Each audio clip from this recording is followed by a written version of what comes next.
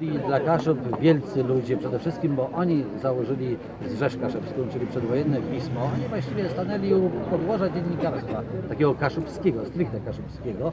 E, Druga sprawa, założyli drugą organizację kaszubską, Zrzeszenie Regionalne Kaszubów. Wprawdzie wkrótce była wojna, więc y, długo nie działała, ale pod, podwaliny stworzyli do późniejszego Zrzeszenia Kaszubsko-Pomorskiego, które teraz mamy.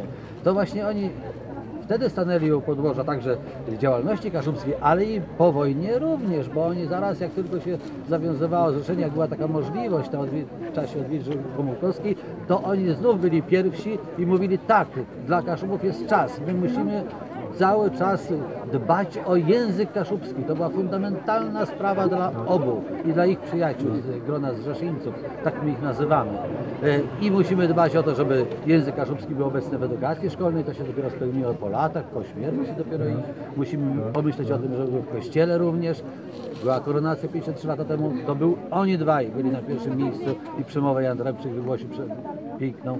E, I tak w każdej wówczas ważnej dla Kaszubów sytuacji to właśnie oni w tym czasie pomiędzy e, tej pierwszej połowie e, XX wieku i jeszcze trochę później, aż do właściwie swoich ostatnich dni w latach 80. e, cały czas byli.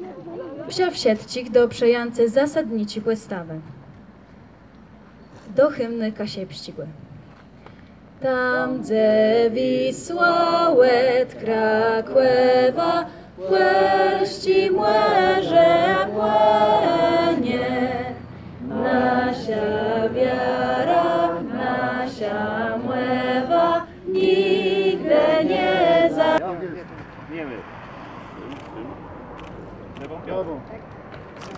Lewą piątą. Ja co ja.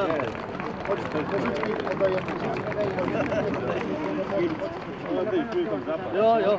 tych wspaniałych ludzi, ale przy tej okazji będziemy się modlić, tak jak to przed chwilą w tej hymnie kaszubskim się pięknie modliliśmy i gdy do zguby nie przyjdą kaszubi, bo trzymają z błękiem, bo my trzymamy z błękiem. I niech tam, myślę, nam przyświeca. Y, Również y, to miejsce mm, jako miejsce modlitwy jednocześnie y, będzie poświęcone, ponieważ ci wielcy ludzie, Jan Plepszyk i Aleksander Labuda byli propagatorami wartości religijnych, chrześcijańskich.